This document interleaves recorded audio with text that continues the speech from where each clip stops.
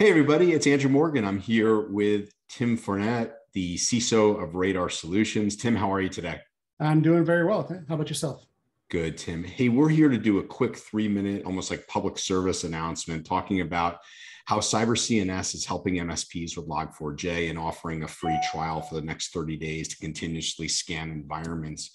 Um, Tim, let me let you just take it right away. Talk about what Cyber CNS is. You've been involved with it and contributed, as many MSPs have, um, over the past year and a half and gotten it to where it is today. Talk a little bit about the platform and how they're helping MSPs uh, today with Log4j. Yeah, absolutely. So, uh, as you mentioned, we've been involved for a little while. Uh, Cyber CNS is a vulnerability management system and assessment tool. Um, it's built uh, with input for MS, uh, by MSPs. It's, it's made for MSPs specifically uh, to provide vulnerability management, monitoring, and uh, help with remediation for uh, all of our client environments. So it monitors PCs, servers, network devices, external services, web services, ports, firewalls, all those things that um, we need to keep an eye on.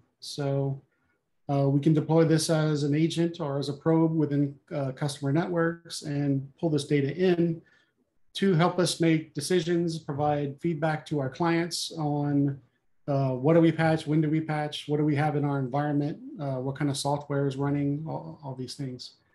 Um, so, you know, obviously when the, uh, the Log4j news hit, um, one of the first things we did was we went to Cyber CNS and, and we saw that you know everyone started asking, hey, first off, is, is Cyber CNS uh, patched against this? And they rapidly got that patch internally uh, for the vulnerability, just like uh, we we hope that people do. Um, but also they they started to work on uh, a way to determine what inside our environment is running the applications that are affected and whether or not those applications have been patched and, and mitigated against uh, the log4j uh, vulnerability. Um, so uh, we can show a little bit about the, the system and how uh, it works a little bit, and I'll show you where we're seeing the log4j data. So here's a, a test environment. We see that we have assets, we have uh, applications, um, and then they provide a, a dashboard view. So we can uh, show their dashboard and see that we've got you know two instances of potential log4j vulnerabilities within this environment.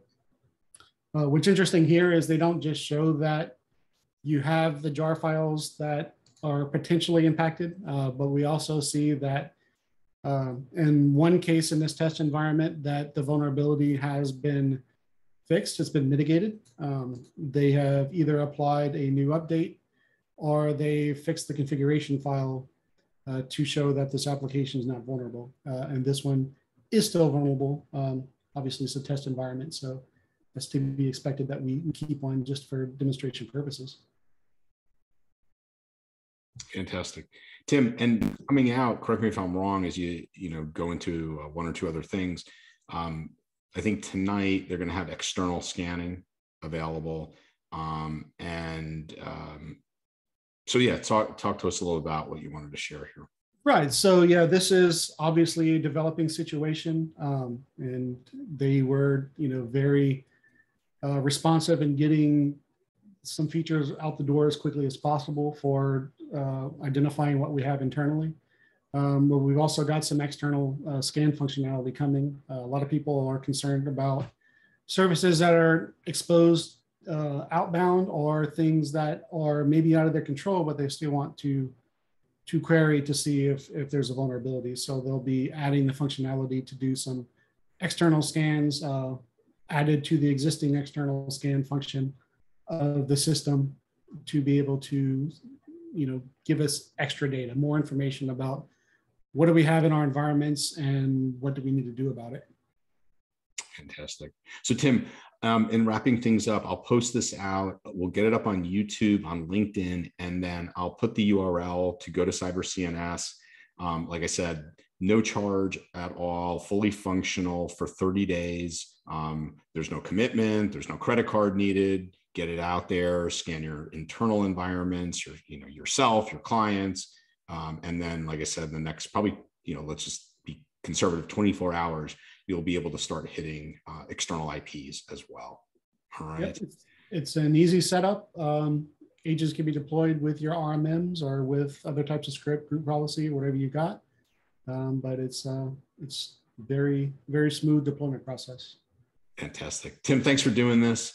Wishing everybody a fantastic day, and uh, let me know if I can help in any way.